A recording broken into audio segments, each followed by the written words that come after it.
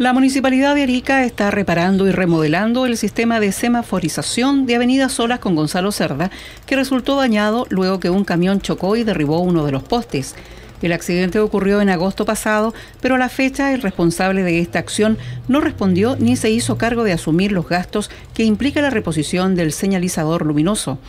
Los trabajos que incluyen el cableado subterráneo, la ubicación de dos nuevos postes y cuatro cabezales representan una inversión que supera los 3 millones de pesos. En el lugar se desempeña personal del Departamento de Iluminación de la Municipalidad, labores que verificó en terreno el alcalde Waldo Sancán. Y estamos trabajando costos que particulares hacen daño a la propiedad nuestra, que son los semáforos que nos sirven a todos. Somos nosotros con recursos municipales los que tenemos que eh, repararlo, así que hacemos un llamado a la mayor responsabilidad el alcalde Sancán también anunció que serán ubicados postes y cabezales en la intersección de Amador Necme con Cancha Rayada en la población Cardenal Raúl Silva Enríquez. Y por otro lado también estamos cumpliendo un compromiso en Cancha Rayada con Amador Necme, que ya tenemos la canalización para poder próximamente también instalar un nuevo semáforo que va a permitir mayor seguridad tanto para los conductores como para los peatones.